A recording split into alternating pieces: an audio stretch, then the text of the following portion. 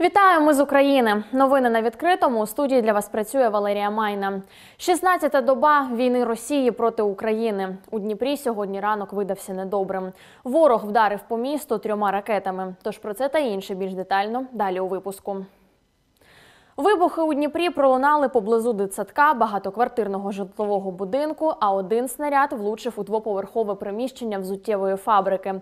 Рятувальники оперативно загасили пожежу. Загинула одна людина. У будинках, що поблизу, вибуховою хвилею повибивало шибки. На місці згарища рятувальники знайшли уламки, на яких видно маркування армії Росії. Ракета розірвалася в кількох метрах від пам'ятної стелі воїнам, які полягли у Другій світовій. Черговий приклад цинізму окупантів зазначив очільник Дніпра Борис Філатов, який побував на місці вибуху. Тут же працюють поліція та ДСНСники. Комунальники прибирають уламки, закривають вікна, утеплюють під'їзди. В большом количестве окрестных домов повыбивало окна. Люди мерзнут, на улице холодно. Уже сейчас заделываем окна пленкой, утепляем дома. Департаменту жи- жилищно-коммунального хозяйства выданы все распоряжения. Ну а дальше будут заниматься этим инцидентом военные, правоохранительные органы.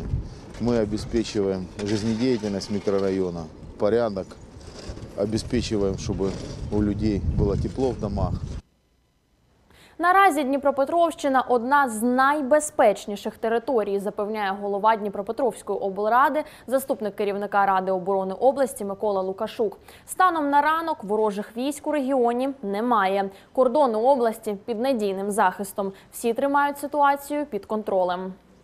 Я и официально могу сказать о том, что наша область на сегодняшний день является самой защищенной. В ней есть все, что необходимо. Все товары первой необходимости, лекарства, все работает, банки работают, бензин есть. Поэтому у нас здесь, если не считать этого ракетного удара, на сегодняшний день идет война, но у нас самая, одна из самых безопасных и самых защищенных областей в Украине. Дніпрян просять не публікувати точні адреси ударів та не поширювати недостовірну інформацію. На цьому наголошують в повітряному командуванні Схід. Коли ще лунає сирена, чати та канали люди наповнюють інформацією про місце вибуху. Так ви демаскуєте системи ППО і даєте ворогу зрозуміти, наскільки його дії ефективні. Ба більше знижуєте захист міст, наражаєте на небезпеку рідних та друзів. Крім того, у повітряному командуванні Схід наголошують, ефективна протиповітряна оборона, коли ворог не має уявлення, звідкіль прилетить. Даючи точні координати, даючи фото і відео, на яких видно топоприв'язки, такі як, е, наприклад, телевежа або супермаркет, або станція метро, ви коригуєте ворога, ви даєте уточнення. Е, Зараз б'ють неприцільно, б'ють з дуже далекої відстані, і своїми відео і фото люди, не усвідомлюючи наслідків видають координати, куди потрапила ракета, і таким чином дають наводку ворогові, куди скоординувати свої зусилля наступного разу. Бачите окупанта? Повідомте про це в Збройні Сили України. Міністерство цифрової трансформації запустило чат-бот у Телеграм Є ворог. Там українці можуть розповісти про пересування російських загарбників або повідомити про місцезнаходження техніки окупанта. Головна відмінність цього чат-боту від інших аналогів є ворог авторизується через застосунок Дія. Це дозволить уникнути багатьох фейкових фото та відео від диверсантів. Всі дані оперативно перевіряються і передаються до ЗСУ. У чат-боті відправте фото чи відео, оберіть область з переліку та відправте геолокацію техніки чи живої сили ворога. Опишіть детально, що ви бачили. На залізничному вокзалі Дніпра рятувальники розгорнули два додаткові пункти обігріву, аби ті, хто покидає місто, могли в теплі чекати на потяг. Нагадаємо, на вокзалі вже працюють два намети для переселенців. А волонтери прямо на пероні зранку до вечора годують людей гарячою їжею. Крім того, цілодобово чергують психологи. У Кам'янському оновлюють систему міського оповіщення та облаштовують бомбосховища. Зараз гучномовці є практично в кожному районі міста. Зокрема, їх встановлюють у місцях масового скупчення людей.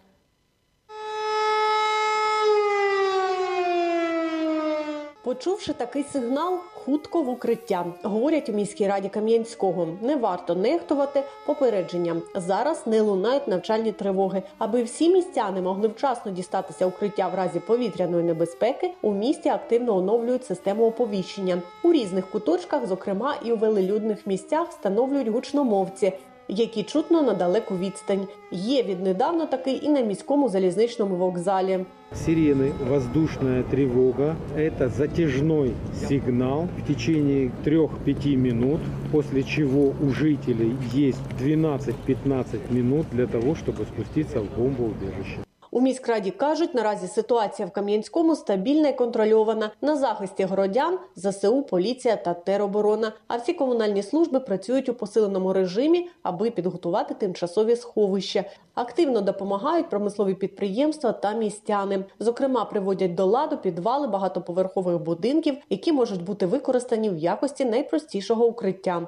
Решили очистить подвал, приготовить, потому что у нас в подъезде только у нас 7 детей в подъезде живут. Нам коммунальные службы пришли на выручку, пом- помогли очистить подвал, свет провести, водопровод сделали. Ну, конечно, продолжаем обустраивать, даже хотим интернет сюда провести. Это все Ну, практически всю грязь коммунальщики вынесли. Вот эту комнату при мне мы вместе с ними выносили это все. Зараз у Кам'янському на випадок повітряної тривоги підготували майже 1300 бомбосховищ та тимчасових укриттів. Комунальники встановлюють на них таблички зеленого кольору, а також позначають місце схованки фарбою на стінах. Повідомив міський голова Андрій Білоусов.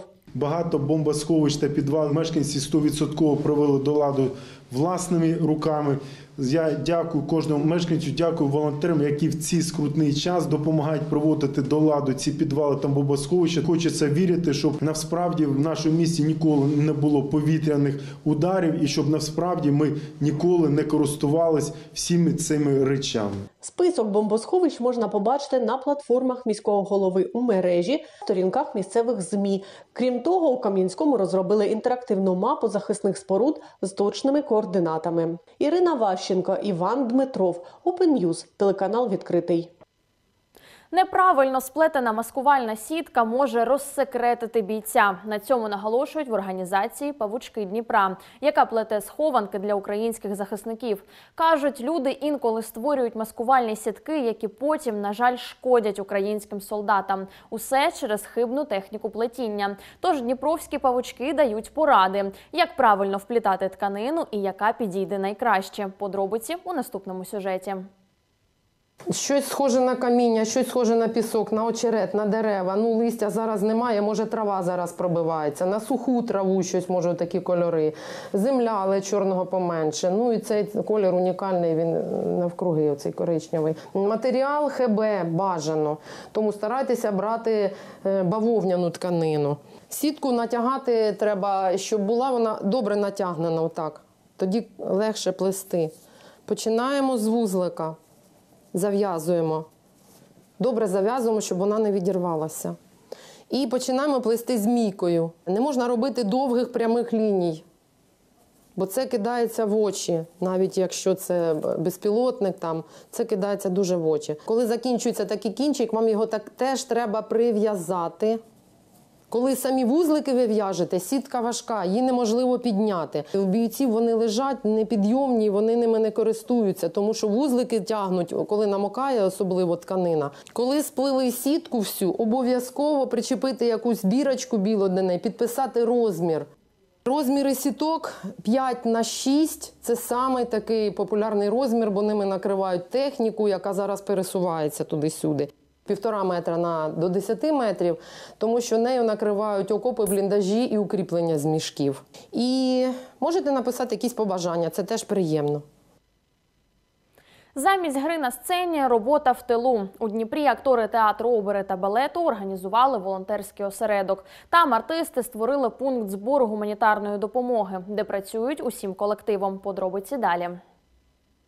Ще два тижні тому театрали Дніпра готувалися до вистав. Та з перших днів війни виступи скасували. А в театрі опери та балету створили волонтерський осередок. Там збирають речі першої необхідності, їжу та медикаменти. Надають допомогу всім, хто зараз її потребує, переселенцям з інших областей, хлопцям на передовій, пораненим в лікарнях. кажуть, роботи вистачає. Ви знаєте, тут немає такої роботи, котру не робила б кожна людина в штабі, тому що ти можеш зранку оброблювати інформацію.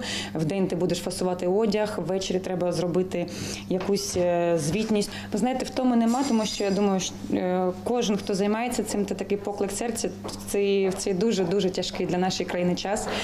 Е, Це обов'язок і така моральна відповідальність кожного. Волонтерського руху долучився і пан Олексій. Йому разом з родиною тиждень тому пощастило виїхати з палаючого Харкова. Зараз театральною родиною він збирає необхідні речі та підтримує бійців на передовій. Для цього зірки сцени записують патріотичні пісні.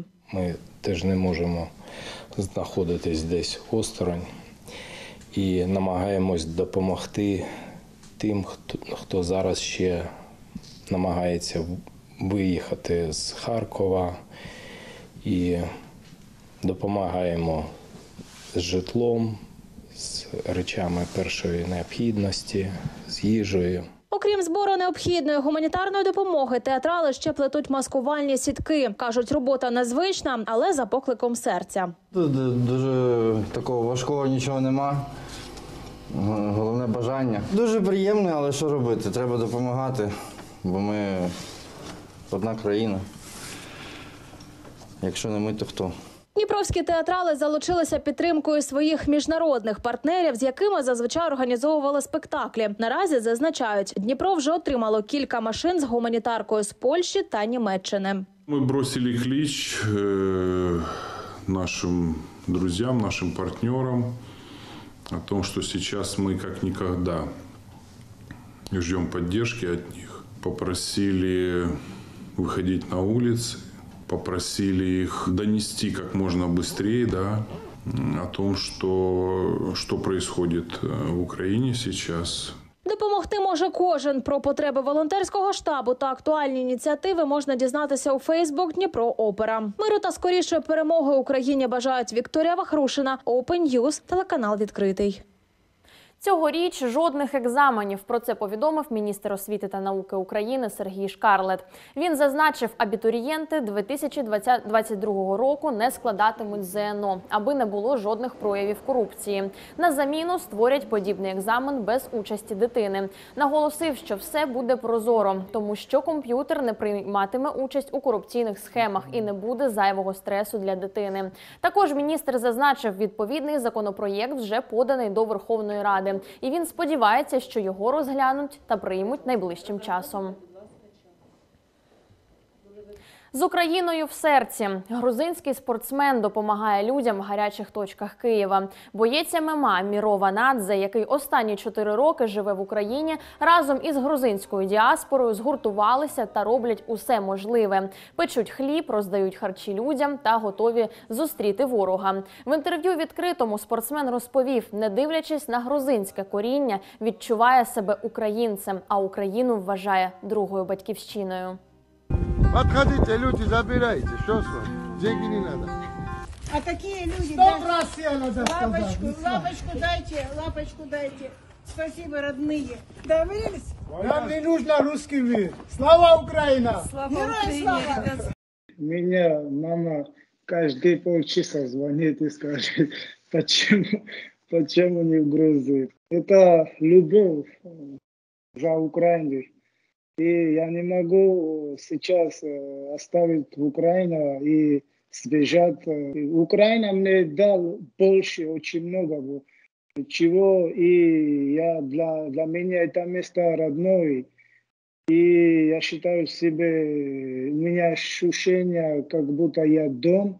И я не считаю, чтобы Украина для меня это чужая страна. Это, для меня это вторая родина. И каждый украинец, э, который сейчас страдает, голодающий, это для меня тоже боль, потому что я решил остаться здесь, и чем я могу, помогаю Рили окоп знайшли археологічну пам'ятку. На Дніпропетровщині бійці тероборони відкопали горщик доби ранньої бронзи. Артефакт знайшли під час облаштування блокпостів. І мерщі зателефонували археологам. Під час подальших розкопок наткнулися і на жіночий череп. Попередньо це була літня жінка, яка померла поблизько 5 тисяч років тому.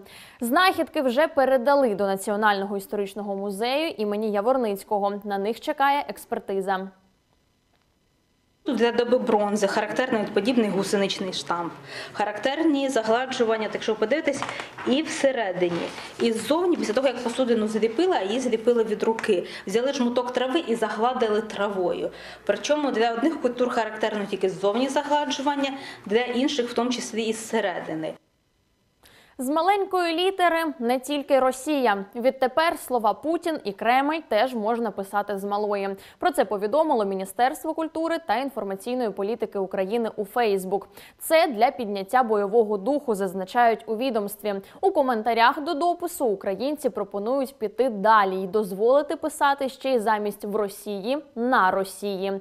Нагадаємо, кілька днів тому провідний український лінгвіст та автор шкільних підручників Олександр Авраменко заявив, що слово Росія можна писати з маленької літери. Це всі новини на цю годину. Продовжуємо нищити ворога на всіх фронтах. Для російських окупантів стало дивом, що українці сформована нація, яка захищатиме кожен сантиметр своєї землі. І ворогу тут ніхто не радий. У жодному місті, селищі та селі. Для нас, передусім, Україна була і буде. Тому ми обов'язково переможемо. Віримо в ЗСУ. Слава Україні! Слава героям! Слава українському народові! Музика